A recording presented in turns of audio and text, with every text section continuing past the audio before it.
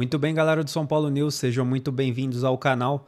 Dessa vez para falar sobre a próxima rodada do São Paulo, que acontece amanhã às nove e meia da noite no Morumbi contra o Tadieres pela Libertadores.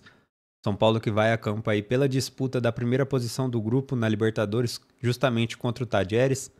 São Paulo precisa ganhar aí de um resultado simples de 1 a 0, é, já consegue ganhar a primeira posição. Mas se o jogo terminar empatado, o Tadieres fica com a primeira colocação do grupo e creio que é muito importante aí para o restante da competição, visto que o time ficando em primeiro ele consegue disputar, né, a, a, o mata-mata na sua casa na última rodada, então creio que é uma vantagem muito grande. São Paulo que pode ter a volta aí do Caleri no ataque, que está fora do time aí por conta de uma lesão em alguns jogos. É, faz muita falta nesse ataque do São Paulo, por mais que o André Silva é, dê conta do recado, mas a gente sabe que não é a mesma coisa.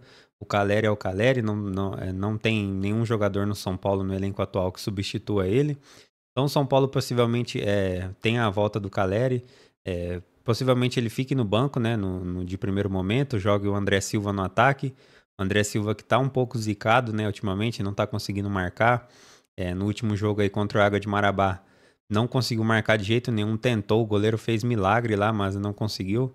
Mas é, possivelmente entre com o André Silva no ataque, é, a volta do Lucas, né, novamente, a, a, titularidade do time, já foi titular contra o Água de Marabá, foi um dos destaques do São Paulo na partida, então possivelmente ele jogue também contra o Tadieres.